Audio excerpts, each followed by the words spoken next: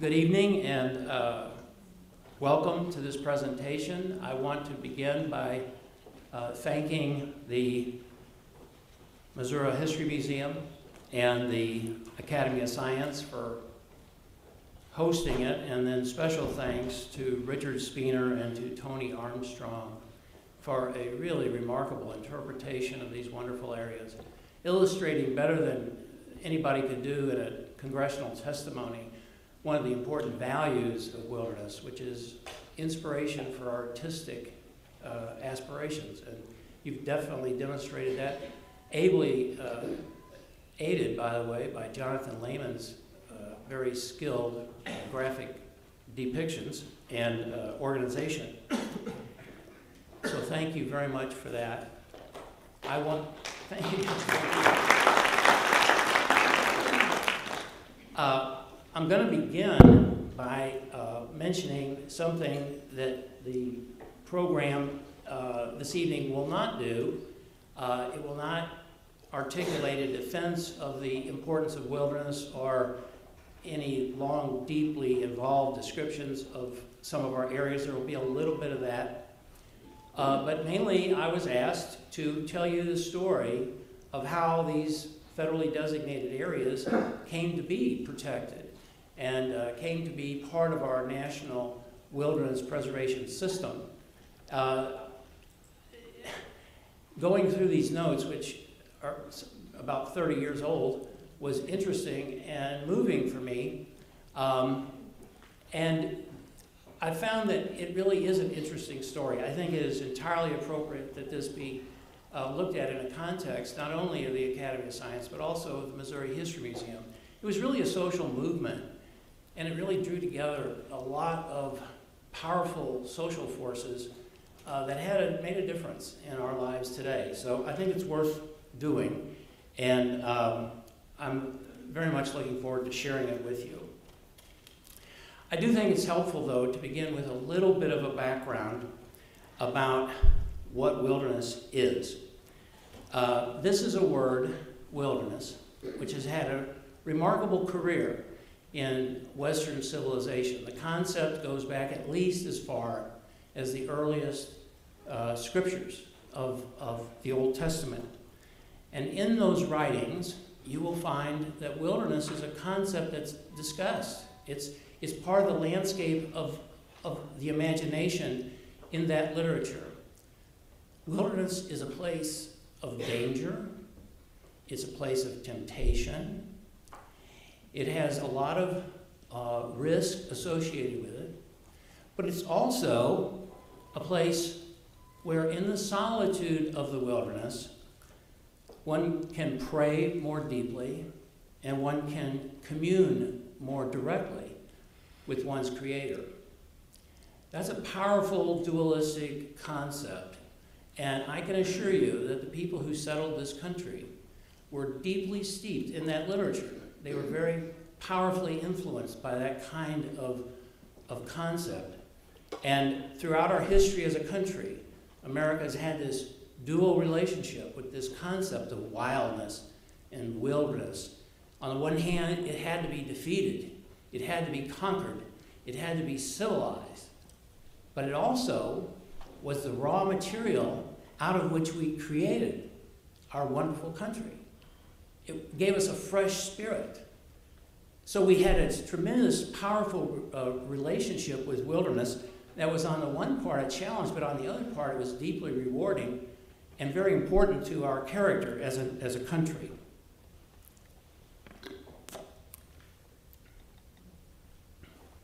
In our own language, the word wilderness has another important connotation, which has also been part of the history of the concept from the very beginning the Old English word wildeor, W I L D E O R. It means the home of the wild beasts. So there's also a very important relationship to wildlife, and that's been part of the concept from the very beginning. As America developed, we did in fact conquer the wilderness. We did defeat it, uh, all but exterminate it. And as this began to be clear, people began to come to a sense of discomfort about the total elimination, the total destruction of all wilderness. And so, as the American conservation ethic began to develop, yes, it included a very powerful in, instinct, as it should, for wise utilization. But there was also, parallel to that, a, a consideration of the value of wild land, land that we did not control, we did not uh, utilize in, a, in a, a normal sense, but which was important to us as part of the geography of hope as it was expressed so eloquently by some early conservationists. Most importantly, it was recognized that this was part of the American character, and we didn't want to lose all of it. The first real federal land system that recognized the concept, even though they didn't use the word and they had no system officially, was the national park idea. National parks clearly carved beautiful, stunning, scenic wilderness out of our national estate and protected it. But the concept of national parks had a, a very heavy influence also on, uh, was heavily influenced by the concept of the need to render those landscapes accessible and available for all kinds of recreational opportunities. The first agency that really developed the concept of wilderness as we know it today was not the Park Service, it was the National Forest Service. The National Forest Service consisted of huge acreages of land, primarily out west, but also in the east, where most of the utilization derived back to Gifford Pinchot and the concept of wise use, multiple uses, uh, cutting some timber, but doing it carefully, developing water resources, developing even mineral resources. However, there was uh, leadership in the Forest Service which recognized that these are all good things, but we don't want to exterminate the wilderness while we're doing it. What's left of the American wilderness deserved a place in the future of the national forests and not just their past. And one of the important people in that movement was a man who's had quite an influence on all of us, I, I presume, Aldo Leopold. The Forest Service, in fact, created a wilderness system. Uh, it was an administrative system. The uh, Secretary of Agriculture could create one, but what Congress and conservationists began to realize as time went on and different things happened to uh, challenge the integrity of that administrative wilderness system was that by the same stroke of a pen, the Sec Secretary of Agriculture could undo the wilderness or redraw the boundary or provide a waiver for the cutting of some timber or the development of some mineral resource. And so there began to be a, a, a powerful movement in the 30s, 40s, and 50s to create a different kind of wilderness system, one that would be more permanent, maybe harder for the areas to get into the system, but much harder for the areas to get out of the system. That movement resulted in 1964 in the passage of the Wilderness Act. And it was uh, part of the great wave of conservation legislation in the 1960s, signed by President Johnson. With the Wilderness Act, wilderness acquired something else. It acquired we've talked about the definition of wilderness, a new definition, this time a legal definition. And I'll, I'll quote from the Wilderness Act Wilderness is an area where the earth and its community of life are untrammeled by man, where man himself is a visitor who does not remain. Further, it speaks of the fact that it's undeveloped federal land, affected primarily by the forces of nature, with outstanding opportunities for solitude, and generally at least 5,000 acres to ensure that it was always connected to a sense of spaciousness, which is very critical to the concept of wilderness. Well, in this talk tonight, we're going to be talking mostly about wilderness in that sense, the statutory legal definition of wilderness as a unit of a federal wilderness system. And this wilderness system was conceived by Congress as being applicable all across the different federal systems. Uh, selected choice portions of different uh, uh, units of federal land could be designated as wilderness. In other words, a portion of Rocky Mountain National Park, the wildest part, that could be designated as wilderness. Uh, portions of the national forests could be designated as wilderness. Not the entire forest, but the, the wild portions, the select choice remnants of America's wild heritage.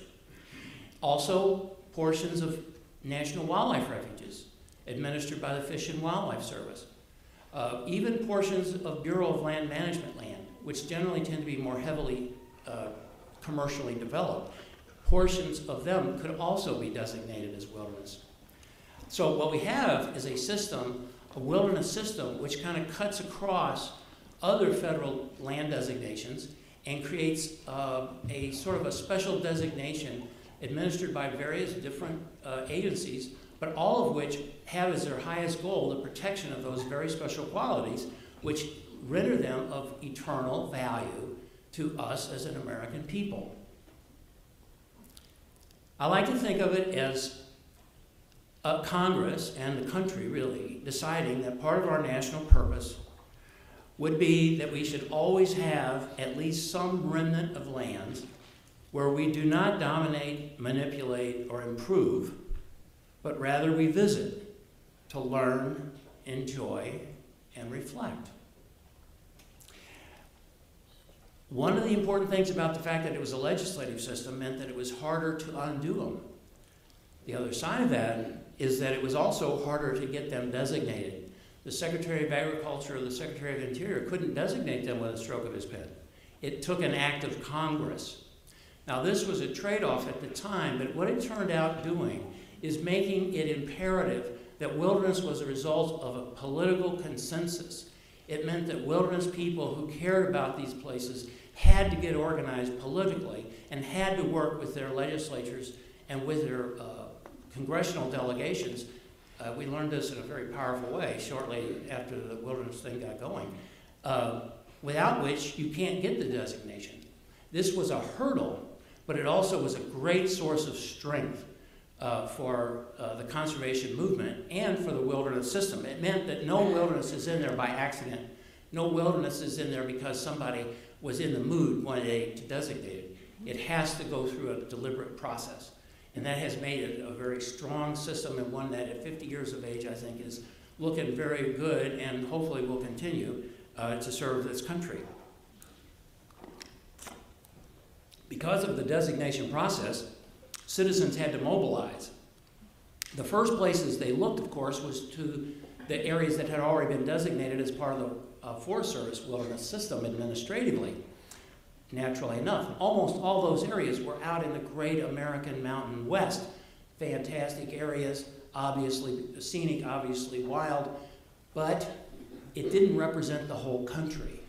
Uh, there began to be a realization that if this was going to be a system that represented what was important about the wildness of our country, it needed to include representative samples of all the different landscapes in the country, not only in the uh, West, but also in the East and in the South. And that led, shortly after the Wilderness Bill passed and these early designations uh, were incorporated, toward a movement for protection of wilderness areas in the East. And that meant that we had to kind of uh, work on how are we going to define what could be a wilderness. There were very few areas that were totally pristine, but there were a lot of areas that had achieved a wildness since their desert. Most of the national forests in the east were uh, purchased and designate, uh, identified in the 1930s. And there were on those areas, there were a number of, of opportunities for genuine wildness that could be protected in the east and in the south. When they looked east and south, that included mostly national forest land. There were some very wonderful uh, wilderness areas on National Wildlife Refuge. Okefenokee Swamp is probably the biggest, but in the east. But also, um, uh, most of the areas were on the national forest. And what this meant in Missouri, of course, was the Mark Twain National Forest. Mark Twain, which at the time uh, that this began, there were two national forests. Some of you recall that: the Clark National Forest and the Mark Twain. They were later united in one. But with, together, the Mark Twain National, the combined Mark Twain National Forest, as it, as it exists today, is a wonderful forest. It includes one and a half million acres of land. A lot of it is eroded, a lot of it is utilized for uh, timber harvest, and that's not all bad. Uh, in fact, it's, some of us would argue that, that that's a part of a balanced use. But there were areas on that Mark Twain National Forest that were genuinely remote, genuinely beautiful, genuinely wild, and somebody had to speak up for them. That's where we come to the Missouri story.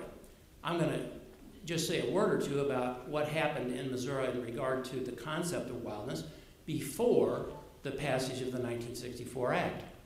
The earliest recorded uh, English language speaking and writing explorer who talked about Missouri's wilderness in its more or less original condition uh, was Henry Rowe Schoolcraft, who traveled across the Ozarks looking primarily for mineral resources, uh, but a very uh, intelligent man and uh, vigorous explorer uh, in 1818 and 1819. And he wrote about the, the, the beauty, it was really, truly impressed him. And uh, subsequently, there was a very intrepid and uh, remarkable, strong character gentleman from Ireland who was a Roman Catholic priest named Father John Joseph Hogan. And uh, Father Hogan uh, led a group of his countrymen who were languishing in uh, poor circumstances here in St. Louis uh, he wanted to get them back on the land. And so he explored the opportunities for purchasing land in the Ozarks for these people, and he settled on an area that subsequently became known as the Irish Wilderness. And uh, no one has ever described Missouri or Ozark wilderness more eloquently, in my opinion, uh, than uh, Father Hogan, who in his memoirs, he later became the Bishop of Kansas City. Uh, in his memoirs, he described the, the, the setting in which he was trying to settle these Irish uh, immigrants. Uh, and his words were the place seemed to inspire devotion. Nowhere could the human soul so profoundly worship as in the depths of that leafy forest, beneath the swaying branches of the lofty oaks and pines, where solitude and the heart of man united in praise and wonder of the great Creator. Well, when we had the uh, uh, hearings in Congress on the Irish wilderness, uh, Senator Danforth asked the president of the Ancient Order of Hibernians in America to read that passage, and uh, he choked up while he was reading it. Uh, it. it. really has a power. It had power then, and it has power today. Um, as I mentioned earlier, Aldo Leopold uh, best known for his uh, connections uh, to the upper uh, Midwest and the Great Lakes country, especially Wisconsin. Uh, not everybody knows he had connections here in Missouri. He explored some of these areas and he talked about the Irish wilderness as well. And he recommended that it be part of the wilderness system. This is back in the 1930s uh, when they were first setting up the Mark Twain National Forest. In the 1940s, we had a wonderful outdoor writer uh, we don't seem to have those in our papers these days, but Leonard Hall, many of you remember Leonard Hall, a great conservationist. He wrote uh, eloquently about the uh, Irish wilderness in a national publication called The Living Wilderness of the Wilderness Society. And he also proposed a 100,000 acre wilderness area in the uh, St. Francis Mountains called the Taum Sauk Wilderness. Parts of that have been included in subsequent wilderness designations. And finally, in the 1950s, a wonderful writer for the Conservation Department, Dan Saults, uh, wrote very powerfully about the, the space and breadth and clean loneliness of the Irish wilderness. Well, again, that's that those those writers really understood. So there was this awareness of these areas and of their value even before the passage of the Wilderness Act. After 1964 uh, and the beginning of a consciousness of the importance of designated, designating areas in the east, uh, the first organization that stood, stepped up and said uh, something about this was the Missouri Conservation Federation, uh, which is a, an affiliate of the National Wildlife Federation. And they passed a powerful resolution uh, requesting that Forest Service set these areas aside and that Congress uh, enact legislation to have them designated. And as early as 1971 and 1972, the Forest Service uh, cooperated with that. They identified about seven areas, not for wilderness designation, but for what they prefer. They had an alternative idea, but it was related and it was sympathetic and complementary to create an, a, a system called Eastern Wild Areas. They were concerned that if these areas that had once uh, had some uh, influence of man on them but had recovered wildness, that that would open too many floodgates for the designation of western wilderness areas. And so they preferred a different, separate system. Congress, in the end, rejected that idea, and um, went forward with designating these eastern areas as units of the one single national wilderness preservation system. And then finally, the uh, national conservation organizations put together a bill. Uh, still remember the name, or the number, Senate Bill 316. And uh, Senator Tom Eagleton co-sponsored it. Well, those of us who were interested in this, this was in 1973, thought, wow, this is easy. Uh, no problem here. Uh, it included the Irish wilderness and a, a few others. Uh, it was called the Eastern Wilderness Act.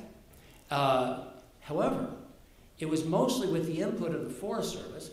Conservationists weren't organized. Uh, there was that resolution from the Conservation Federation, but there was no real conservation effort to stand up and, and we just thought, well, this is great. It was introduced and passed, and then we'll have these areas. Didn't work that way. When that bill passed the Senate, it went over to the House of Representatives, and the chairman of the relevant committee hearing that uh, legislation was a, a gentleman from the state of Montana named John Melcher. And John was uh, uh, from the state of Montana, as I say, and he had some misgivings about wilderness areas because in his state they have huge wilderness areas. And he, he thought, well, I don't know, this might not be such a great idea. I'm going to ask the, the congressmen who represent each one of these areas uh, what they think, which seems reasonable enough, except those congressmen were Dick Ichord, Gene Taylor, and Bill Burlison. And uh, God bless them. Uh, I think they're all past their eternal reward now. But they didn't think this was a great idea. But why did they not think this was a great idea? We hadn't talked to them. Nobody had approached them. They didn't have constituents who were telling them they thought these areas ought to be protected. So every one of those guys represented one of these, one or more of these areas, and they said no. So John Melcher took them out of the bill. When that happened, the, it didn't uh, stop the Eastern Wilderness Act, it went forward. And by the way, we weren't the only state who had this rude awakening. There were a number of others that did too. But there was an Eastern Wilderness Act. It did pass, and there were some, all of a sudden, a lot of areas in the eastern United States designated as wilderness. But nothing for Missouri. And we were, it was a hard lesson. Uh, but I'll tell you something. It was the most important moment in the history of the Missouri Wilderness Campaign. Um, we came to a very clear understanding that wilderness is an act of the people. It requires local support. Uh, it requires the mobilization of citizens, and it requires a campaign. And uh, out of this uh, realization was born this new organization, very informal but very energetic, called the Missouri Wilderness Coalition. And this uh, organization was really just an alliance of a whole lot of different organizations. Uh, its key was that it was statewide. It was organized in every congressional district. In those days, by the way, we had 10 congressional districts. Um, its main emphasis was on frequent and good communication among the members and the affiliates. I would say this, that it was also founded on a concept of respect for each other. It was also founded on respect for local opinion, because without local support, or at least acceptance, the local congressman was not going to allow this to happen in his district. And it was based on respect for every member of our Missouri delegation. They are the elected representatives of our people, and we had to respect that and we had to work with them. And if we didn't, we weren't going to get anywhere. We utilized a lot of different organizations, and I, am going to try to avoid during this presentation mentioning a lot of names and a lot of specific organizations, but I think it's useful for you to know that uh, we utilized existing organizations and their uh, regional structures. For example, Audubon Society has chapters all over the state, including chapters in every congressional district. Sierra Club had regional groups more or less all across the state. Uh, the Conservation Federation had dozens and dozens of affiliates, including every, practically every county uh, in the state. And the Ozark Society had chapters as well. And we utilized those as sort of a framework for working together, staying in touch. There were frequent newsletters. Um, and we developed our message. And our message was that wilderness was a good thing, it was good for this state, and it wasn't going to interfere with anybody else's utilization of the national forest because we weren't talking about that much land uh, uh, by comparison to the one and a half million acres of Mark Twain. And then we learned how to deliver that message. Uh, by today's standards, our tools were very primitive, uh, but we utilized them and we had a lot of fun doing it. And that included slideshows, photo exhibits, not as elegant as the one we have here uh, uh, tonight, but you know, effective. Calendars, fact sheets, tabloids. In fact, you've got a tabloid here. It's a little bit later vintage. It's 2007, but it, it's a, this is a uh, uh, comes at the end of a long line of similar type uh, publications, brochures, uh, and uh, time on the uh, radio, etc. The key thing, though, was that we knew we had to sit down and talk to the people who lived around these areas. We had to convince them that this was not something that was going to bother them or hurt them or interfere with their ability to use and enjoy the national forest. We also met with, and that, that, was a, that was a stimulating and revelatory experience for all of us. Um, and we also met with the Forest Service. And we met with every member of our Missouri delegation, both senators and all 10 congressmen and our governor, uh, Christopher Bond, who was a, ended up being very helpful to us in a number of key ways uh, throughout the campaign. And then in 1976, uh, we had a sort of a, a forced marriage uh, with our Missouri General Assembly because the Missouri Forest Products Association, which saw that they were losing ground in the congressional delegation, decided they would come in around and, and torpedo this movement by uh, convincing their friends in the Missouri General Assembly to oppose wilderness by a resolution of the Missouri House of Representatives. H.R. 110. Some of you will remember that little ferocious campaign, which we won because we, it forced us to get down to Jefferson City and talk to the legislators. We, it ended up we were a lot of friends in the Missouri General Assembly, and H.R. 110 was tabled. Uh, but that was good for us because it got us in touch with these people uh, we can't win a political uh, campaign by being too good to talk to our elected officials. If there's a single thing that uh, I took out, took away from that overall experience, that was it. You have to talk to these people. And there is a reason why they've been elected, because they're not easy to talk to. Uh, in some circle or another. We might not be part of that circle, but we can, we can communicate with them. And uh, that was our experience. And uh, uh, it was a very gratifying one. Finally, in May of 1976, the first major Ozark Wilderness Conference was held in uh, Montauk State Park. And that was the official birth of the Missouri Wilderness Coalition. In July of that year, uh, uh, legislation was heard in the Senate and in the House, and finally, in October 19th, uh, Public Law 94557 was passed, and that was the first designation of any Missouri wilderness areas. It included two, uh, uh, one national forest area, Hercules Glades, and then one which was a unit of the National uh, Wildlife Refuge System, a portion of Mingo National Wildlife Refuge.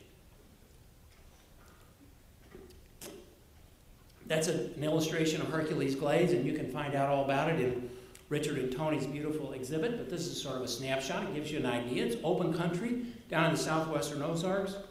Wonderful place, expansive vistas, really a sense of freedom and openness that is essential to the wilderness concept.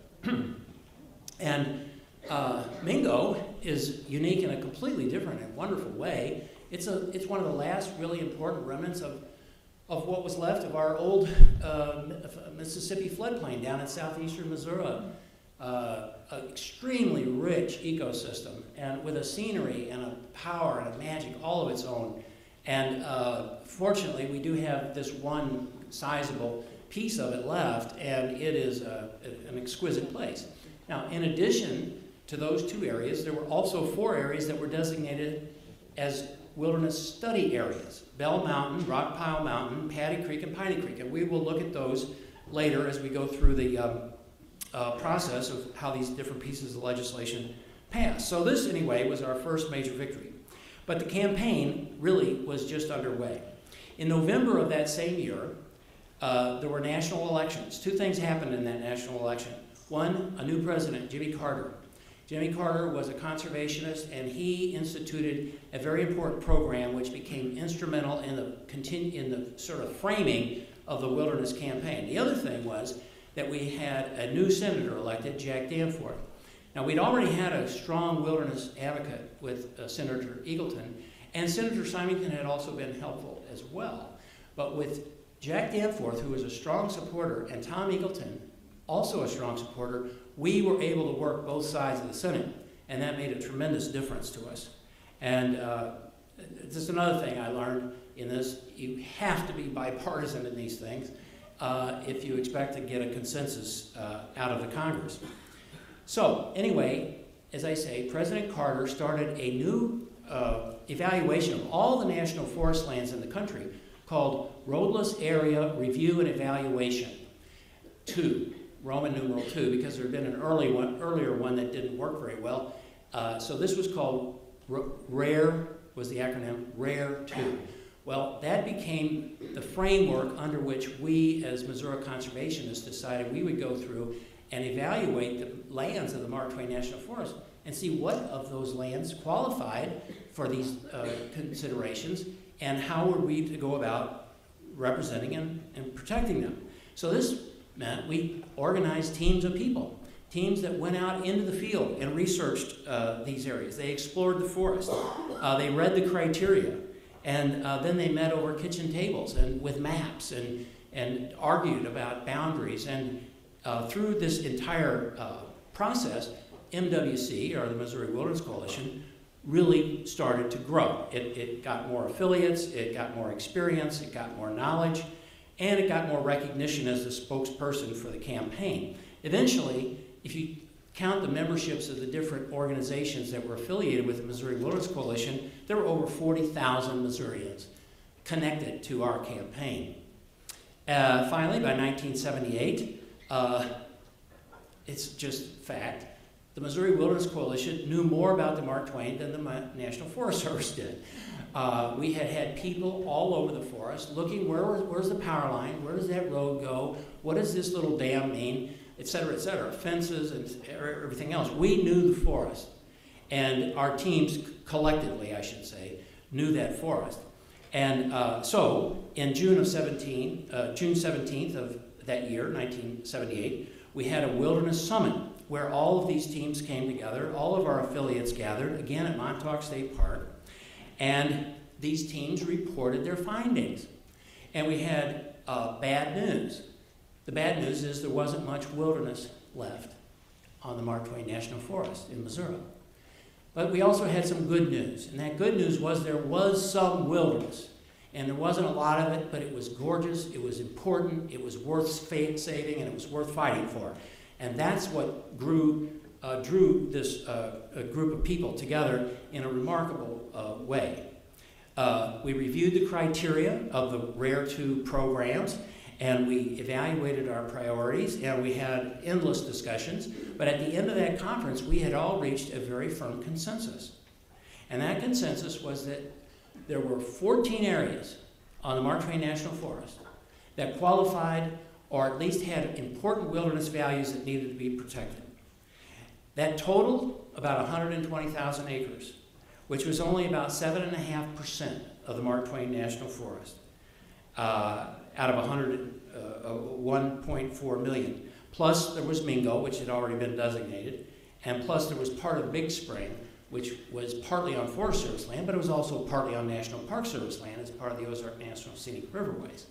So, of those 14 areas, six were ready for designation, and seven were uh, important enough that we knew they had wilderness values, and but they needed further study on their boundaries and what have you. So that was undertaken.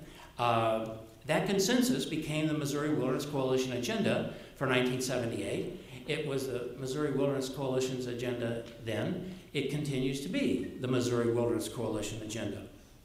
Uh, and we're still working on it. Uh, in Rare 2, uh, we to summarize, we were forced to organize ourselves, we were forced to study the forest and to learn about it, and we were forced to prioritize.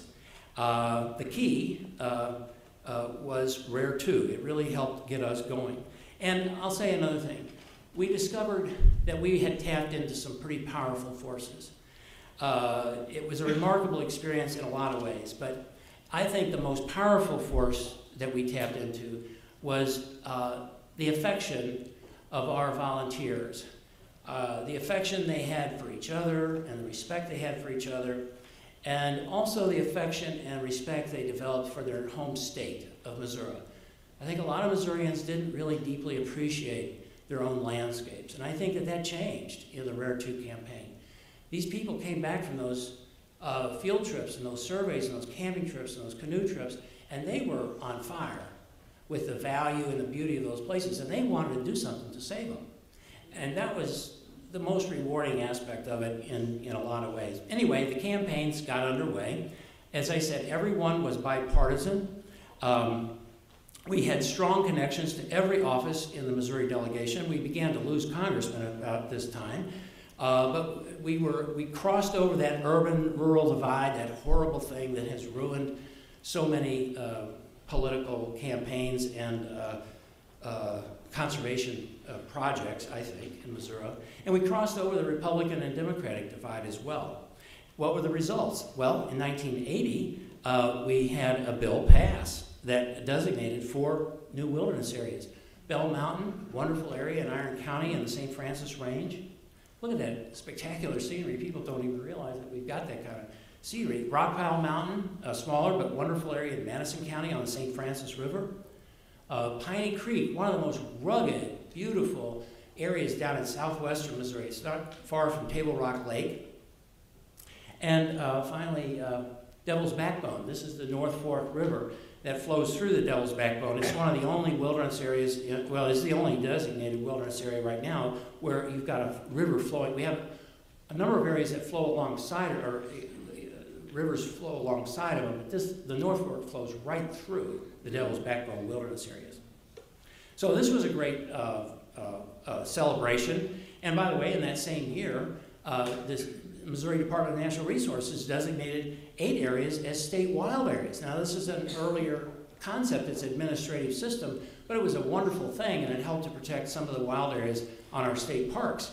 Uh, and that's a sort of a separate story, but a, a, very good one. Well, after this bill passed, we had another conference to decide what we were going to do with the rest of these areas, and that was in 1981. It was in Columbia, Missouri, at the Tiger Hotel. Many of us who were there remember an uh, inspiring speech we heard from David Brower, who was one of the great conservationists of the 20th century. He came and he gave a wonderful talk. And shortly thereafter, a bill was introduced to designate this extraordinary area called Paddy Creek. It's in Texas County, and it's just very close to the uh, Big Piney River, and this beautiful stream flows right through it. Guess who introduced that bill? Representative Wendell Bailey, conservative Republican from Willow Springs. And he did it with the support of the entire Missouri delegation. And then, finally, the Irish wilderness, which could be a talk of its own. We won't uh, give you the, the, the gory details, but this was the largest area, it was the best known area. It was, however, the hardest of all the areas to designate because in this area we never did gain the support of the local congressman, who was Bill Emerson. But it was so important, and he, but he was, he, he was really concerned about the loss of the opportunity to mine in the area. Uh, but we decided it was also the most important wilderness area in the state. It had the most history, it was the largest, and therefore we weren't going to give it up, and we were going to fight for it. Well, at the end of this bruising battle, uh, a staff person for the National um, Sierra Club in Washington, D.C., his name was Tim Mahoney. He used to like to wear his Irish harp tie when he went to hearings on the Irish wilderness. He said that, um, I want you to know, uh, uh, you Missourians, that never has the Sierra Club spent this much time and effort per acre on a wilderness designation as we have spent on the Irish wilderness. Uh, it, in the end, it was passed, again, co-sponsored by Senator Eagleton and Danforth, uh, and co-sponsored in the House by uh, Harold Volkmer, conservative Democratic uh, congressman from Northeast Missouri, and signed by uh, two Irishmen, uh, in the end, President Ronald Reagan and the Speaker of the House, Tip O'Neill. So that happened in 1984. Then in 1985, we still had those seven areas that had not been dealt with. Uh, and there was a new forest plan coming on that we had to uh, uh deal with. And how is this new forest plan for the Mark Twain going to treat those areas? Well, it turned out it didn't treat them very well. We had to appeal the plan, and there's a process whereby you can do that uh, with federal agencies. And uh, in the end, after a long story, in 1987, we signed a settlement agreement with the uh, U.S. Forest Service that these areas, these seven endangered areas, as we call them, uh, sensitive areas, as they call them, uh, would be protected administratively, not the congressional designation, but protected, taken out of the timber base, no roads to be constructed, no mining to be uh, conducted. And so that uh, resulted in this other uh, uh, phase of our wilderness campaign, uh, whereby these seven endangered areas or these seven sensitive areas. And we've been engaged in that ever since, protecting them administratively until such time as Congress can see itself clear to, to act to protect them. Um, very quickly, these are Lower Rock Creek uh, in Madison and Iron counties. Really a gem. It's the second largest of our wilderness areas, 13,000 acres. This exquisite area, Swan Creek, uh, uh, down in Christian County, that's a, a, cave in the North Fork area, uh, just north of the Devil's Backbone, also on the North Fork River. This is the only area north of the Missouri River. It's in the Cedar Creek unit of the Mark Twain National Forest. It's right between Columbia, Jefferson City, and Fulton. Uh, and yet it's a gem. It's only 2,000 acres, but it has a genuine wild quality about it. And we've recently had help from uh, Congressman Blaine Luetkemeyer in preventing a new road going through this area. So again, we're still in the business of, of protecting them. This uh, another wonderful area near Willow Springs called Spring Creek. Uh, this is another area in the St. Francis Range called Van East Mountain.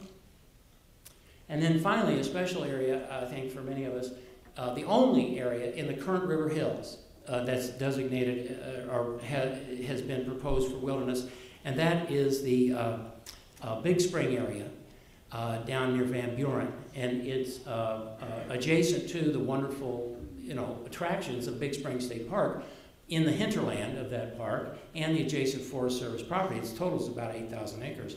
Uh, but it is an extraordinary area, beautiful pine trees, and uh, a real expanse of, of wildland. So this became what we, our agenda to protect these areas through the different uh, Mark Twain National Forest plans. There was another plan developed in 2005. We didn't think it was good enough uh, protection, and so uh, at, in the aftermath of that plan, we uh, developed a, uh, another proposal uh, to get these areas designated uh, by Congress, not just protected administratively. And uh, the little tabloid you have here was developed in conjunction with that announcement. And it tells, I think, a, a very good story, and it's still current information about uh, how to, or, or, why these areas are important and why they should be preserved. Now, I will say that even though these seven areas haven't been designated, we have been successful in protecting them. There have been no timber sales in them, there have been no roads developed, no dams built, no mining done. Uh, so th they are being protected administratively. That's not good enough. We eventually want them in the system. But it's not as if that has uh, been a failure uh, of protection because by working with the Forest Service, we've had pretty good protection. We do think in the end they need the protection of the Legislative Act. When we made this announcement, however, we discovered that the uh, political situation in our beautiful state had changed considerably since the 1970s and 80s. Uh, for one thing, and I'll, I say this uh, with, uh, you know, complete understanding, but nevertheless, it's a, it's, it's a sad fact. Public land uh, is less of a priority for many conservationists today than it, than it once was. Other issues have taken over our attention, uh, understandably, but it's had an impact on the ability to preserve wilderness areas. Also, conservation politics has become terribly polarized, uh, very disappointing uh, reality, but it's there. There's less communication between ur- urban and rural constituencies. There's certainly less uh, uh, communication in our observation between Democratic and Republican uh, political people. Um, however, wilderness remains a wonderful thing, and it is um, only necessary to look at the designated areas to be reminded of that. All the things that the Missouri Forest Products Association and the Missouri Mining Council said were going to happen to the economy of the Ozarks because of them have absolutely not happened. In fact, the Forest Service itself calculates $2.5 million annually in economic benefit to local economies and areas because of the wilderness areas. And so, even on an economic basis, these have been a wonderful enrichment of our state. Uh, not to mention their scientific value, their spiritual value, their recreational value, and as we see here this evening uh, in that beautiful display, their artistic value as an inspiration. So, in conclusion, I just want to uh, report to you that it is our hope that we can hold these wonderful areas, the designated and the proposed uh, places, uh, close to our hearts. Uh, that this upcoming anniversary of the Wilderness Act will encourage us uh, as Missourians to visit them, to enjoy them, and to cherish them. Uh, over time, I think that we can build another wave of public mobilization that again is based on mutual respect and willingness to listen to others, and with some political skill, lead us to a mutual understanding and a consensus that these areas indeed should and can be protected and designated as enduring units of the National Wilderness Preservation System. Thank you very much.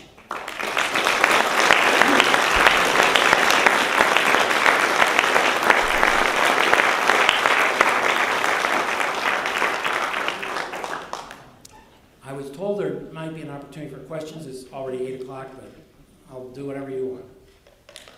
So, are there any questions? Yes, ma'am. Two parts. Do these areas allow hunting and fishing, and is there connection with the Department of Natural Resources? The answer to that question, do these areas allow hunting and fishing? The answer is yes, where hunting and fishing was allowed prior to the designation. In other words, on a national forest area like the Irish Wilderness, hunting and fishing was allowed prior to the designation. It continues to be.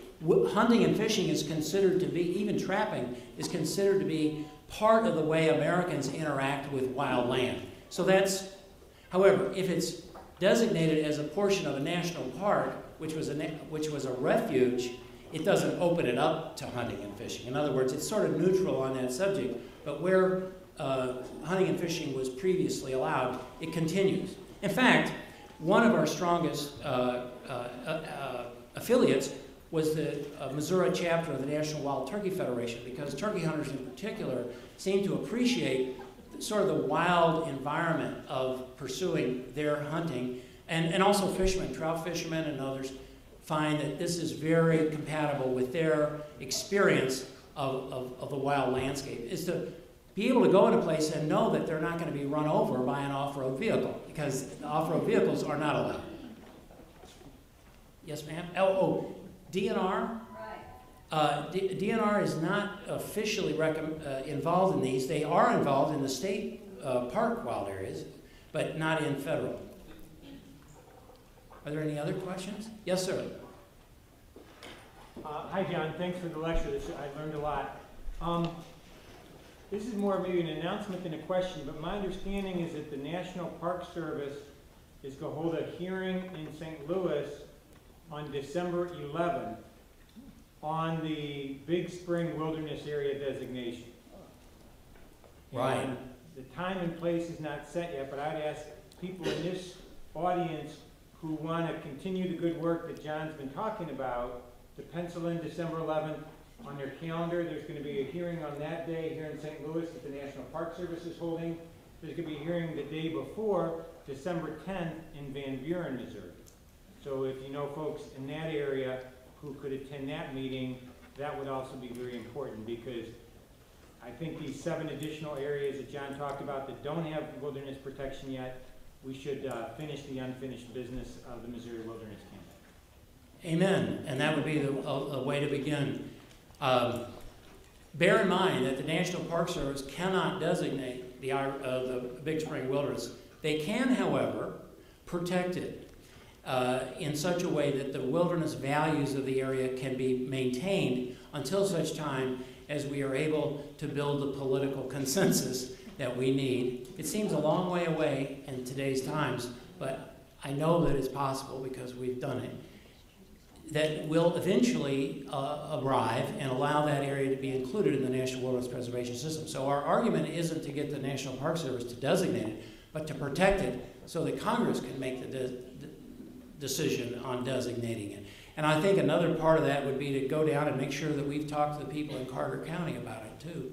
It does, it wouldn't hurt a thing in Carter County. It would add value and it would add more appeal, more attraction. It would help the, the economy of Van Buren. Uh, and that's the message we have to understand, craft, and deliver. And not just in St. Louis, we have to begin here, but all across uh, the state, especially in the local area. Yes, sir. John, you mentioned. the Trick question, I bet. You mentioned the help that that Senator Eagleton and Senator Danforth gave. I remember those days, uh, there was sort of a fight on two fronts, the natural areas, the wilderness areas, and the Meramec Dam issue, which was almost concurrent with, you know, the development of, uh, getting, going through the Wilderness Act. And Senator Eagleton and Senator Danforth were really helpful there, and I know you got involved in, in that also. Well, there's some battle-scarred veterans of both of those campaigns in the room this evening, and uh, we're delighted that they're here. And yes, they were. They were. They were exciting times, I have to say. Carol Springer's here. She was one of the leaders in the fight to save the Meramec River from being dammed into oblivion. Yes, ma'am. I was just wondering, when you're talking to local landowners, um, how much are you just working with them directly, or do you work through farm bureaus?